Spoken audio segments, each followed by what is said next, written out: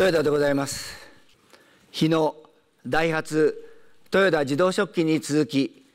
グループ内で問題が発生しておりますことに対しましトヨタグループの責任者としてお客様車ファンすべてのステークホルダーの皆様に心よりお詫び申し上げます。本当に申し訳ございませんでした。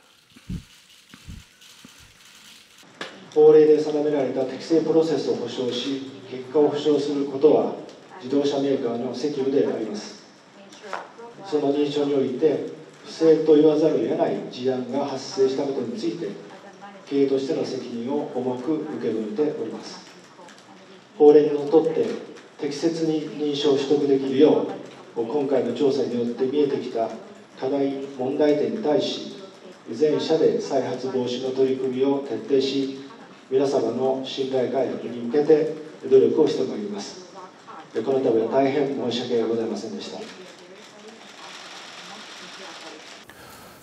認証制度に関わるさまざまな試験はお客様に安心安全に製品をお使いいただくための大前提となるものであり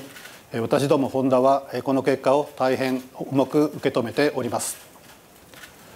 お客様販売店サプライヤーをはじめとする多くのステークホルダーの皆様に多大なご心配をおかけすることになったことを深くお詫び申し上げます。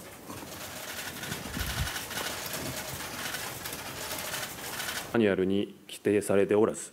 補正値を用いて算出した数値が定められた